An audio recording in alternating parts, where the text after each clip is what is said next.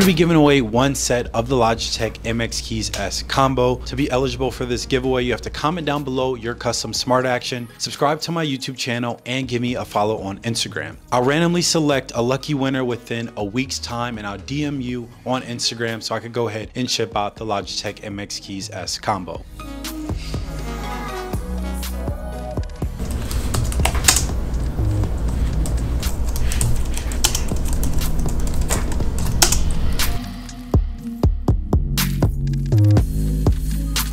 So Logitech recently announced the launch of their upgraded version of the Logitech MX Keys, the MX Keys S. For context, Logitech's MX Keys series of keyboard is really meant for power users. Those of you all who are trying to be as productive and optimize your keyboard typing experience to its fullest capability. So if you're a programmer, an engineer, or designer, this keyboard series is meant to optimize your workflow. One thing I actually already really enjoy about the launch of the MX Keys S is the packaging. Logitech MX Keys S and the Logitech MX Master 3S are now packaged together, which may not be the biggest deal, but I do like the more minimal unboxing experience. You all probably already know a ton about the Logitech MX keys. And to be honest with you, the MX Keys S isn't that much different in terms of its style, design, profile, like tactile response when it comes to your typing experience. But there are a few key differences, few, few key differences that may be worth the upgrade. So for starters, the layout is a bit different. There are three new buttons added to the Logitech MX Keys S, which is dictation, mute and unmute, and of course, emoji. It's 2023, like every keyboard should have an emoji key at this point. Since receiving my keyboard, I've been using the emoji key a ton. I mean, hey, I work in tech and most of us talk in emoji. One other amazing feature that pairs amazingly well with the Logitech MX Keys S is smart actions. So I just wanna show you how quick and easy it is to create smart actions. Logitech has some awesome templates, so we're gonna go ahead and add a few to our devices first. So we're gonna go ahead and click Smart Actions. And as you can see, there are a plethora of Smart Action templates. The first one I'm going to add is Reply with ChatGPT. I use ChatGPT all the time, so this template will be really helpful. So after triggering this action, this Smart Action copies your highlighted text, opens a ChatGPT tab in your default browser, and paste the content you have highlighted into the text box to send a message to ChatGPT. To add the smart action, simply select a trigger. And in this case, I will select the MX Master 3S top button to trigger ChatGPT. Confirm trigger. You'll select the top button on the MX Master 3S and that will activate the smart action. The next smart action I'm gonna add to automate some of my programming workflow is the pull project changes smart action. I'm gonna go ahead and navigate to templates and in the second row, you'll see the pull project changes smart action. Now I'm gonna make my trigger the MX keys calculator button.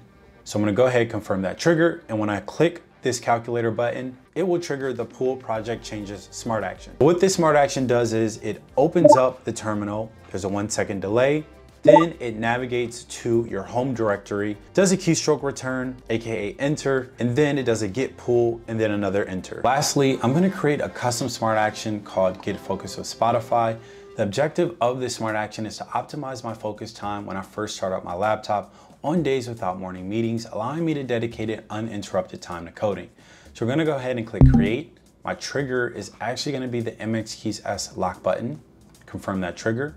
Now this is where the fun part happens. We're gonna add the actions that we want for this specific smart action. We're gonna go ahead and click add action. The first thing I wanna do is I actually want to show my Be Focused Pomodoro timer.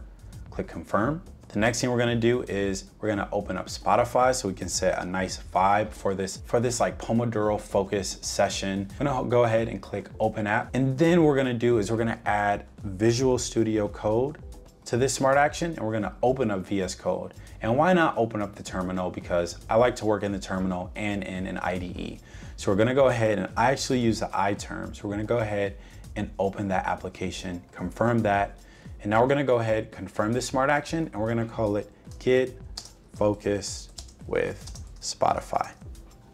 Confirm, and now you see we have our two templates, which are pull project changes, reply with ChatGPT, and then our custom Get Focused with Spotify smart action.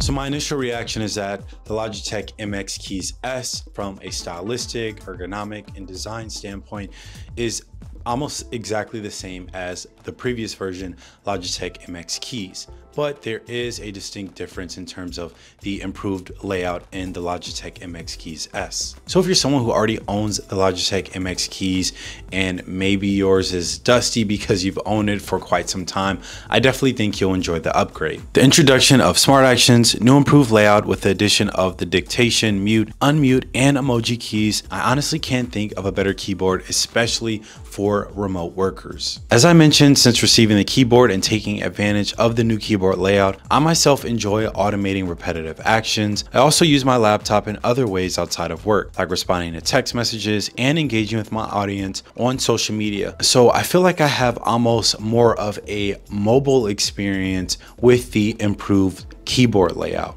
And as a remote worker working in tech, I take a lot of Zoom meetings. So it's really nice to minimize my usage of my mouse and be able to interact with my colleagues with my keyboard more than I've ever been able to in the past. Thank you to Logitech for sponsoring today's video. Also, don't forget the giveaway rules so you have a chance of winning the MX Keys S combo. And if you're interested in purchasing the Logitech MX Keys S combo, be sure to click this link in the description box. With that said, I'll see you all soon. Peace.